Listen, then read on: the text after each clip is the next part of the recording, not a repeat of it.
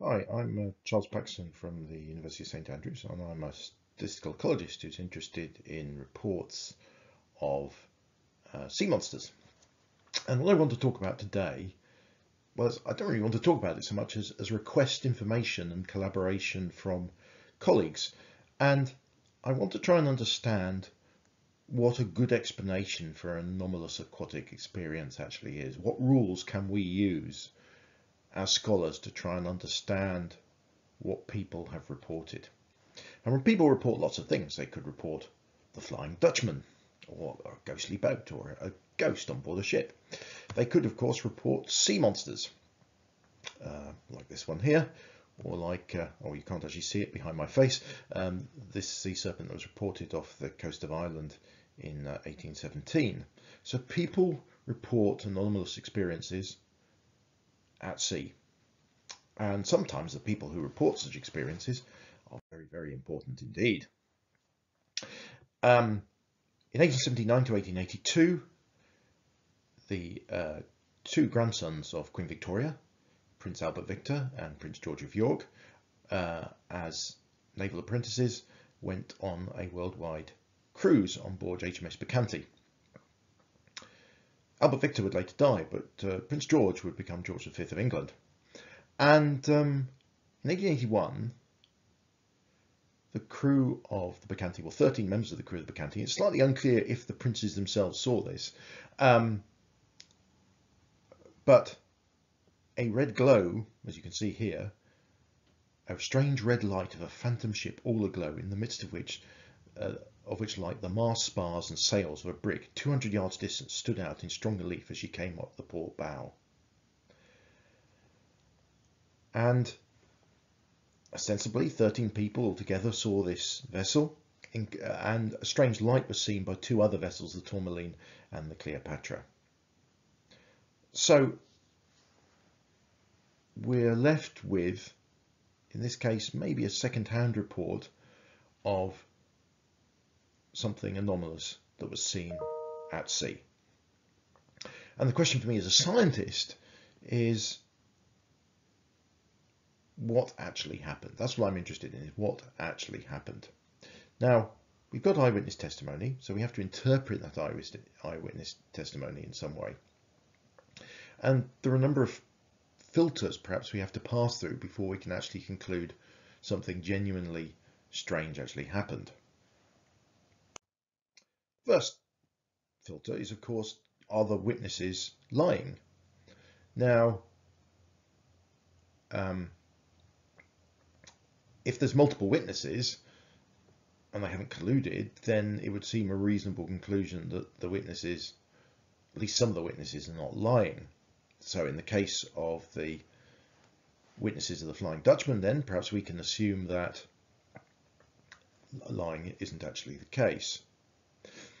Of course, the witnesses might be telling the truth, but they could have been hoaxed. And certainly hoaxes do happen. Uh, in the 1830s, there are a number of reports of sea serpents um, seen off the coast of uh, Southern Ireland, and um, many of those reports turned out to be um, being placed by hoaxers. Uh, many of the witnesses could never be found. Um, some of the locations seemed a bit dubious, and so somebody was having fun at the expense of reporters. So hoaxing is something that has to be considered, but let's assume that everybody's acting in good faith, which seems the most parsimonious uh, explanation. So we'll assume, unless we have evidence otherwise, that people haven't been hoaxed.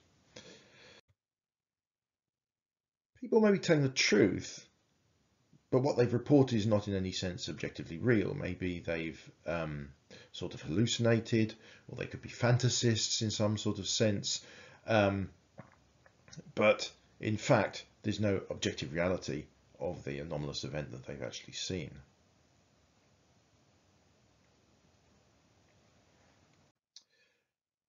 Um, they could have had a genuinely strange experience for them, but actually it was something that was not actually strange.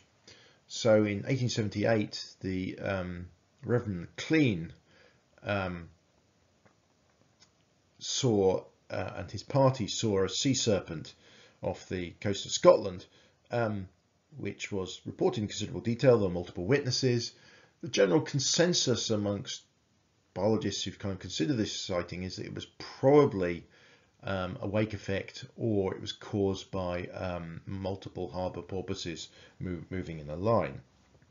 Maybe it wasn't, maybe it was a genuine sea serpent, but um, a prosaic explanation can actually, actually be made for what was seen. And maybe some witnesses have a low threshold for defining what they think is unusual, and they're perhaps unwilling to consider prosaic explanations for what they've actually seen. Or maybe they're in some sense primed, they have some pre-existing expectation. I don't think this is the case in the Maclean sea serpent, but witnesses, for example, going to Loch Ness might have an expectation of seeing a monster. So if they see something which in other places they might just dismiss as a wake or a water bird, but at Loch Ness it might be interpreted as a monster. Sometimes people have genuinely strange experiences caused by something unusual, known but not actually strange. In 1829, off in the Indian Ocean to the south of India, a um, strange flattened sea monster was seen that was uh, described as flat and dark in colour and covered in white dots. And it seems genuinely clear that this sea monster was fairly accurately described. And it turns out that what was actually seen, we generally think, was a whale shark. Now, the thing was, the whale shark had only uh, been described a few months before, um, and so the world did not know about whale sharks when this sea monster was seen in the Indian Ocean. Maybe a few years later, it would have been recognized as a whale shark. But at that point, it was sort of known, well, known to a few number of people who'd read the paper, um, who'd read the descriptive paper, but of course the rest of the world didn't know about whale sharks. And so the witnesses had a genuinely strange experience, seemed caused by something very unusual, but it wasn't really strange. Um, ultimately, ultimately, it wasn't ultimately strange, I think is, is, is one way of putting it. And of course, sometimes people have genuinely strange experiences caused by something strange happening. Here we have an image of the Mary Celeste and um, the Marie Celeste. And we all know, of course, it was found abandoned in the open ocean. Now, whatever happened to the, the Mary Celeste, and there have been many, many um, explanations why she happened happened to her. Um, something strange clearly happened. Something was unusual in the normal turn events. Maybe the crew abandoned her. Uh, maybe something else happened. Um, we don't know, but whatever happened was quite strange, strange and unusual. Um, so for me as a scientist, one interesting question I'd really like to ask is then, and my real interest is in sea serpent accounts, as if the witness has not been hoaxed, lying, uh, or a fantasist, or sorry, if the witnesses have not been hoaxed, lying, or a fantasist, what have they actually seen? Now, so this is the problem I want to consider, and on top of that, there's another issue as well, that the process of me as a scientist seeing the reports has already undergone considerable distortion because we've got a sighting that was made. And then from that sighting there's a memory made and then that memory is being transmitted and maybe recorded by somebody else. And then that recording in some sense maybe written maybe oral um, has been made accessible to me and then it's been interpreted by me and at every stage in that process biases can occur so it's really tricky to try and interpret what people have seen from eyewitness accounts of, of something anomalous. I want to illustrate that in detail by considering uh, one account which I'm very familiar with, um, which is uh, took place in 1875 of the bark Pauline, um, which was aiming for Zanzibar, but it was taking a route across the Atlantic, probably to make use of the trade winds, and it was actually off the well, a bit off the coast of Brazil, and the the um, the captain, the first officer, and two, three, three other members of the crew um, swore that they'd seen something very strange take place. And what they'd seen take place was they saw three sperm whales, but one of them appeared to be gripped uh, by a huge, huge sea serpent. And its back was of darkish brown, its belly white, with an immense head and mouth that was always open. The head and tail, um, you know, had great length um, and with a great girth. And so, by all accounts, it was a very, very unusual sight. And we don't know of any gigantic serpentine creatures that can um, wrap themselves around sperm whales. This would be on a scale bigger than anything um, that we know of. It would be very unusual because sperm whales are deep divers that have collapsible lungs. So um, having some sort of um, constricting snake feed on them would be um, it'd be a very odd lifestyle for a deep sea animal to to to to to uh, to, to, have. Um, and so the general view among zoologists is that there's some sort of alternative interpretation from what was seen. And we've got various witness statements and we've also got some drawings. So here is the actual drawings made by George Drever. Um, I should say that George Drever was an extraordinary person, had an extraordinary life. Uh, I've written two papers about his life. This was the captain. Um, he became obsessed with sea serpents and he became so obsessed with sea serpents that eventually um, for a whole series of complicated reasons, he ended up on trial at the Old Bailey, uh, threatening Her Majesty's Commissioner of Wreck, Charles Callaghan Rothery, um, with, with murder. Um, well, with the threat of killing him. So um, a very unusual life. I haven't got time to go into that now, but I've written two papers on that, so have a, look those up. They're well worth reading. He, he was the most extraordinary character, um, a would-be murderer, but he never committed murder. Um, uh, a hero in many ways, um, a fervent Christian. Um, he lost his life trying to save somebody else's life. He was a staunch advocate and inventor of um, uh, life-saving gear. And to prove his life-saving gear, he once uh, tried to cross the channel uh, in, uh, the, in using a hand-powered paddle boat, um, uh, like a, and um, in each time nearly died. Um, so an extraordinary character, one of these sort of extraordinary Victorian characters that gets thrown up. Uh, well worth knowing about his life. But anyway, what we're interested in here is the sighting from 1875 off um, just off the coast of Brazil, where they saw a sea serpent, or what they interpreted as a sea serpent. Multiple witnesses doesn't they swore on oath that they'd seen it. There doesn't appear to be any doubt about this matter, so they saw something. And so the question is what did they see? And no consensus has been reached amongst the few people who've taken interest in this particular account. Here are some explanations though. It was a sperm whale. Now sperm whales, um, well, there were sperm whales. They were recognised by Drever as being sperm whales. Um, he drew them kind of as sperm whales. Um, now sperm whales feed, amongst other things, on giant squid. And so it was suggested that what we're actually seeing is a sperm whale which had come, come to the surface and it had part of the squid was wrapped around its body and what we're seeing are the tentacles of the squid kind of wrapped around in part the body of the sperm whale which in fact is the aggressor here because it's trying to eat the, the giant squid and the giant squid presumably is just trying to defend itself. Another suggestion um, especially as the sperm whales just described as frantic with excitement, is that we're actually seeing sperm whales mating. And what we could be seeing is just the, the, perhaps their fins are slightly kind of entwined with each other. Um, they're kind of rotating in the in the water, and maybe this is kind of misinterpreted.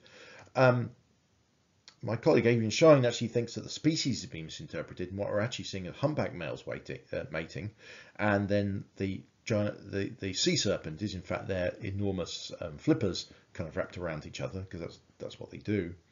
Um, another interpretation by a Canadian ecologist, Robert France, is that it's a sperm whale entangled with uh, fishing gear.